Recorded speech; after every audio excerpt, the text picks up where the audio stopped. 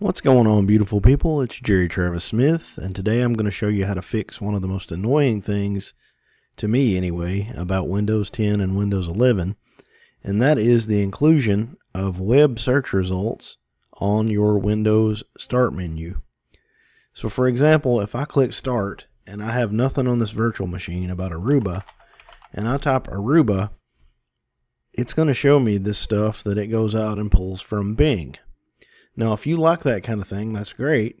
But I don't because, especially on a machine that you've been using a while, the web results tend to drag down the response time of your start menu items that you actually are looking for.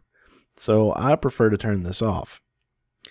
Just to show you what we're working with here, this is a virtual machine I spun up yesterday in preparation of this video, and we are on Windows 11 Home 24H2.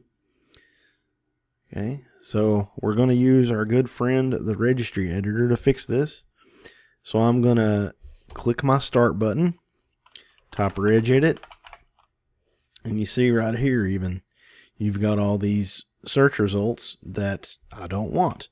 But here's my registry editor. I'm going to do Control Shift Enter and yes, I want to give it administrative rights. And the key that we want to go to here is HKey local machine, software, policies, Microsoft, Windows, and then I have to make a new key in here. So I'm just going to right click uh, right here where there's not anything and go to key. I'm going to type Explorer Make sure you got that R on the end of it. It's not Explore, it's Explorer. Okay, and we're going to add a new DWORD 32-bit value here.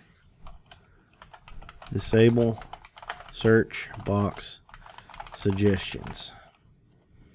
Like that. Okay, and I'll stretch this out so you can see it. And right now, uh, it's set to zero, which means this wouldn't actually disable anything. So I'll double click on that put a 1 in here, click OK. All right, now I'm going to reboot the machine. So let's just right click and restart.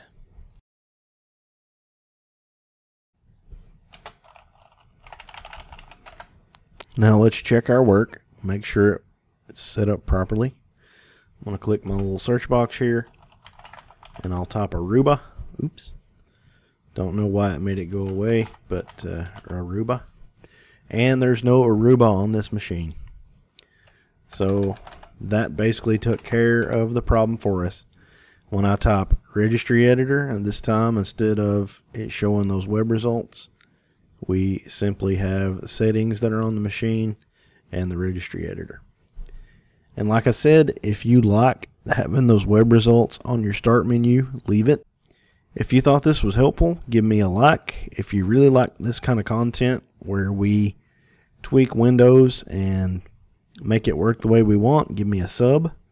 In the comments, let me know what part of the world you're coming from. I really enjoy that. I've had people from all over the world watch these videos and get help manipulating Windows the way they want. You guys have a fantastic day, and I'll catch you in the next one.